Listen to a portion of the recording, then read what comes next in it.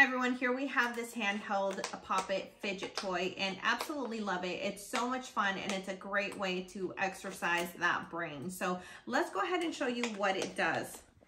Okay, so some of the cool things about this uh, Pop It fidget toy is um, it's going to have volume control. Um, so in case you have one, um, a little one that is sensitive to loud noises, um, you can control the volume here. So I really like that. Um, second of all, it has different modes. So mode one, oh, I guess I have to turn it on. See, and you can turn it off altogether. There you go. So it has different modes. So mode one is going to be challenge mode. mode. Mode two is memory.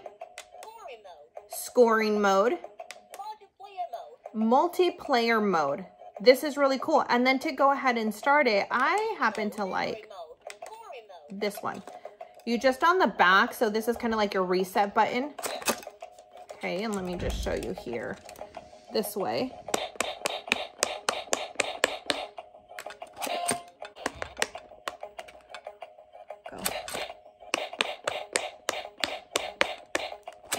All right, so here you have it again, just different ways that you can play. It's an excellent on-the-go toy, whether you're going to the airport, traveling, great airplane toy, um, road trip, whatever. This is really, really cool. You can pretty much take it anywhere and it's small and compact that it'll fit in your purse, your tote, a backpack.